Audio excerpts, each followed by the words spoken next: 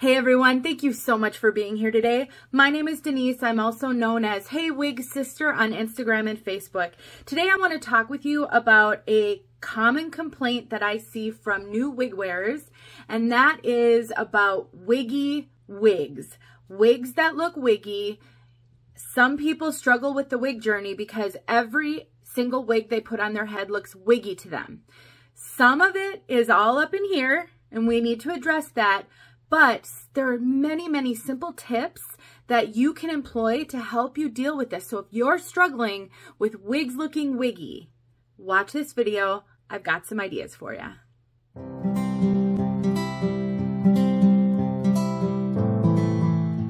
So before I get started on the topic of the day, I will tell you that I have on my head Ellen Wille Flair Mono in the color Caramel Rooted.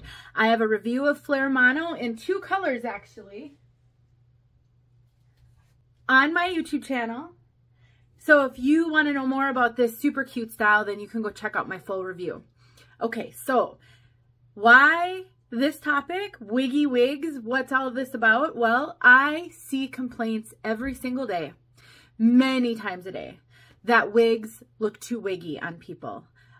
On Facebook, in my email inbox, on comments on my videos and other people's videos, it's a real challenge in the beginning when you first start wearing wigs and until you've gotten used to having a full head of hair, trained your brain a little bit, and um, started to, to look at yourself a little bit differently, wigs can look very wiggy in the beginning. And this happens to almost everyone. You are not alone. When I first started wearing wigs, I truly did not think I was going to be able to successfully wear wigs. It took me a few months to finally find a wig that I didn't feel looked completely wiggy and fake. I had many nights when I would cry myself to sleep practically over this. I watched hundreds of hours of videos. I couldn't understand how all of the reviewers I was watching looked so fabulous in the wigs that they had on, but every single wig I purchased looked terrible on me. I was having dreams about wigs. I mean, I was completely obsessed in the beginning and very, very discouraged and frustrated. Please know that you're not alone. This is something many of us go through, and I have six tips for you that will hopefully help you move forward on your wig wearing journey and not be stuck where you are today. So, tip number one, I got my sheet because I'm low tech over here. um, find a wig that looks as much like your bio hair as possible in style and color. I really think that there is a lot going on when you first start wearing wigs and you will shock your system, you'll shock your brain if you both go for a wig that suddenly gives you a full head of hair, especially if you're not used to having a full head of hair. If you've been losing your hair for a while, this is especially important. Um, and then if you go with a completely different color or style, it is just going to be too much for you to process. So try to get as close to your bio hair style as possible and color. That will really help a lot. There's plenty of time for you to go for the dream hair and experiment later. Uh, along that same line, I also think you should probably stay away from basic cap wigs in the beginning if you find yourself struggling a lot with wigs looking wiggy. If you're not familiar with what I mean by basic cap, I have a new wig wear series that is eight episodes long. Episode one talks all about the different types of wig caps and wig fibers. I will link that as well as any other video I have out there that reinforces these six tips in the description below. So use those as your, you know, next. So if one of these seems like something that could help you, go find that video that I demonstrate what I'm talking about in this video down in the description. And then this could be just a whole educational series for you. So hair looks like your bio hair and I would stay away from basic cap wigs not because they're not realistic. And some people are very successful wearing basic cap wigs, even in the very beginning. But one of the challenges with basic cap wigs is that they tend to have a higher density and permatease. both of which are going to be difficult if you've been losing your hair for a while. It's going to make you feel like you've got a wig on your head. So the lower density little to no permatease styles are going to be better in the beginning because you're not used to seeing yourself with a lot of hair and you just don't find those styles in basic cap wigs as often. Usually basic cap wigs have a lot of permatease because they have to somehow hide how the hair fiber is sewn into the cap.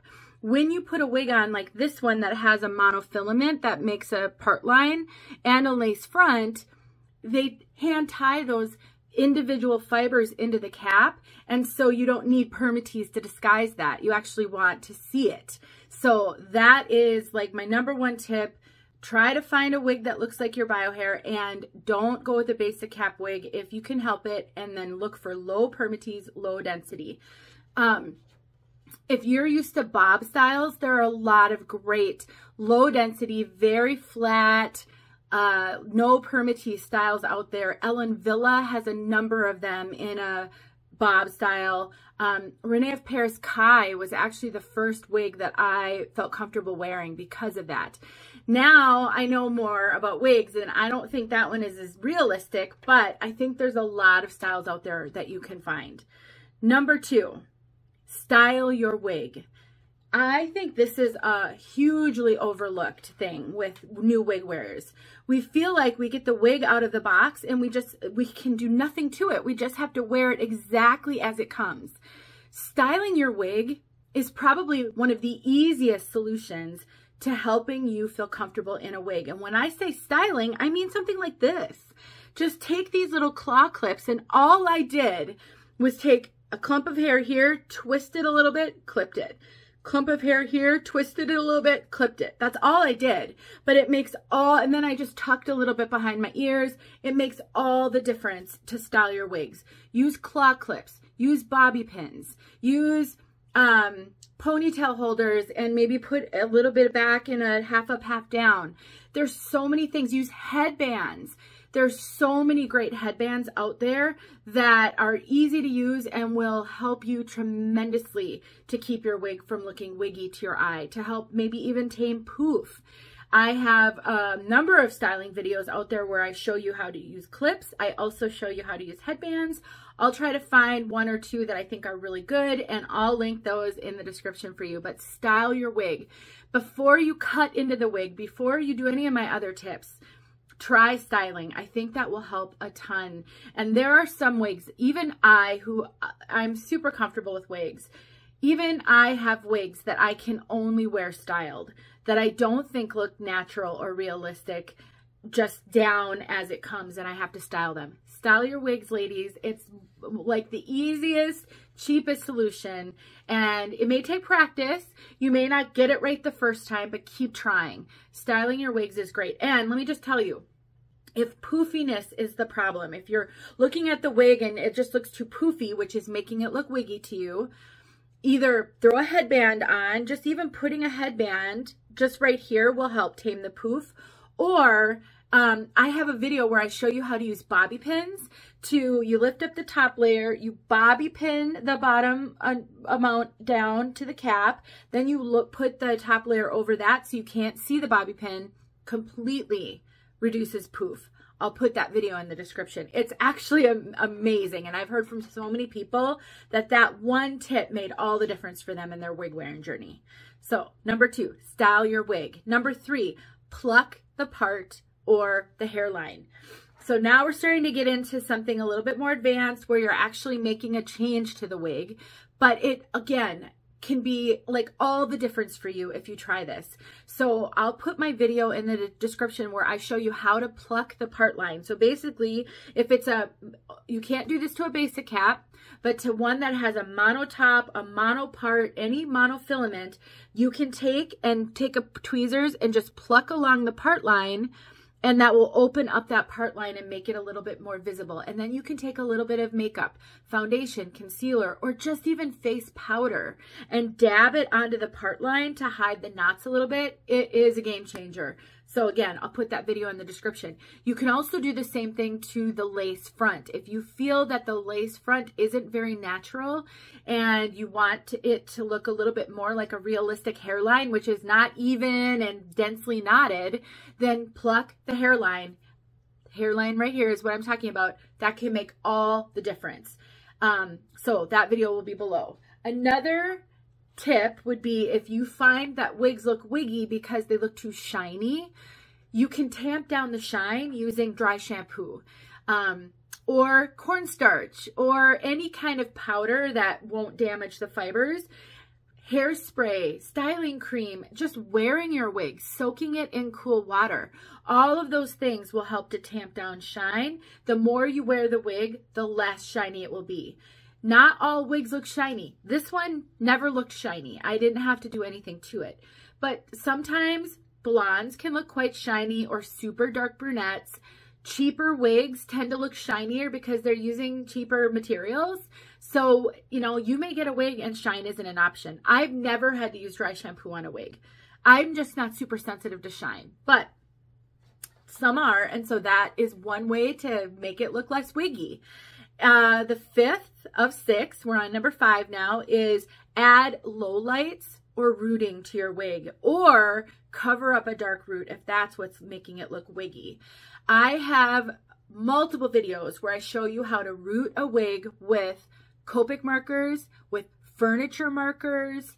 You can use permanent markers. I've heard from people who've done that. You can use eyeshadow. If you don't want to do something that's permanent, you can use eyeshadow. Um, root cover up spray can be used. I, I caution you on that one though, and I will be doing a video on this very soon. It does tend to coat the fibers quite a bit and it does make them feel tacky and sticky and heavy. So I probably would try something other than root cover up spray to start and see if that will work for you. But eyeshadow has been known to work. And so you can either add just gentle rooting. It doesn't have to be super dark, just enough to give the wig some dimension if it doesn't have it you can also add low lights. If the color is just all wrong for you, use furniture markers, Copic markers to use, add low lights. And I will uh, link the video I did on this in the description below. It was a game changer for me on I Love Girl Mono by Ellen Wille, one of my fa all-time favorite wigs. And I got the one in hot hazelnut mix. It's not rooted and I couldn't wear it in the beginning because it was just too light and I'm a brunette, a dark brunette, and I needed rooting. I rooted it perfect. I mean, it truly was like night and day how I felt about that wig. So this don't underestimate a little bit of dimension to help you. Likewise, if it's too dark of roots, I just recently reviewed a product by Style Edit that is a blonde root powder and I demonstrated it and it definitely works.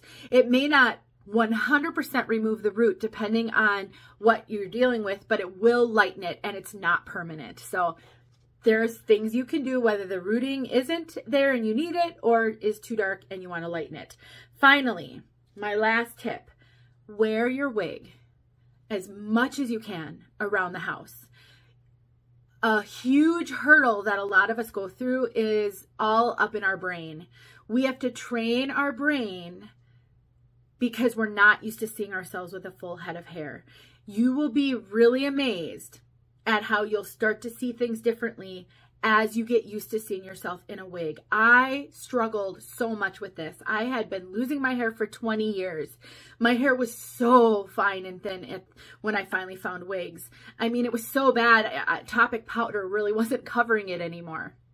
So every wig I put on my head looked wiggy to me, no matter what I did. I rarely feel that way now because I'm so used to it. I see myself with wigs on all the time. And so a lot of this is just desensitizing yourself to wigs. And so wear wigs around the house as much as you can. Look at yourself in the mirror, catch your reflection in a window or something, but just start to get yourself used to not only seeing yourself with a wig on your head, but feeling it because it can be a little uncomfortable at first. You're not used to having something on your head all the time. And it was uncomfortable at first for me and I couldn't wait to whip my wig off my head at the end of the day. Now, some wigs, I barely feel them. I can wear them for 15 hours and it's no issue. Uh, so you will get there, but it does take time. So I would say wear your wigs and you'll be surprised at how much that will help. So at the end of the day, there were six tips. I'm sure there's lots more out there that can help you feel more comfortable with the wig wearing journey, but you've got to start. You have to start trying. So if you've got wigs in a box and you're not wearing them, I want you to commit to going and grabbing one of those wigs out right now if you can, or this weekend, but set a goal for yourself that you are going to take one of your wigs and you are going to practice with it. You're going to practice styling it. You're going to do whatever you can to start to get used to that wig. I promise you, if you make this a priority, you will get there. But you can't let this beat you. Wigs are amazing. They're such a great solution. I am so thankful for wigs. It has made a huge difference in my life, but it didn't come without a few tears and a struggle. It really didn't, and I rarely does it. And so you've just got to pull up your big girl panties and say, okay, I can do this. Denise could do this. If Denise did it, I can do it. Seriously. Um, all of the reviewers you see out here started somewhere. Very rarely did we just jump in, especially those of us who are doing it because we were losing our hair. Yes, there are some people out there with a full head of hair wearing wigs and they love it. Maybe they didn't struggle as much because they're used to seeing themselves with a lot of hair. But for those of us who've lost our hair, it's a huge shock on our system.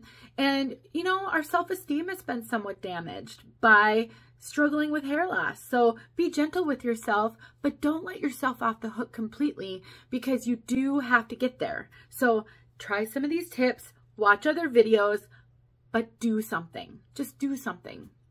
If you need someone to talk to, if you want to vent, you can send me an email at heyWigSister at gmail.com. You can message me on Instagram or Facebook. I get a lot of messages and emails, so please be aware that I may take a while to get back to you, but I try to get back to everyone. Join a Facebook group if you're not part of a Facebook group that is focused on hair loss and wigs. They are such a great support, even if you are anti-social media, maybe you create an account just for a little while till you can get over this hurdle. You'll be surprised at how much it helps to talk to other women who completely understand what, what you're going through. And then get rid of the account once you feel more comfortable. But just do something, okay? Promise me you will do something. One or two steps to help you get closer to being comfortable with wigs. Maybe you can tell me what you're going to try in the description uh, or in the comments. Just, you know, what's your struggle right now and which one of these tips do you think is doable for you? What, what resonated with you on this video and what would help you get closer to your goal of being comfortable in wigs? Let's have a conversation about it and let's all help each other. I know some of my wig sisters are going to leave great comments down there that are going to help you. So read through some of the comments. We've got some wonderful women out there in this community and they want to help just as much as I do. So thanks for watching you guys. I hope this helped you and I hope this gave you an idea. But at the end of the day, just try, okay? Please, just try. All right, thanks for watching. I'll talk to you soon.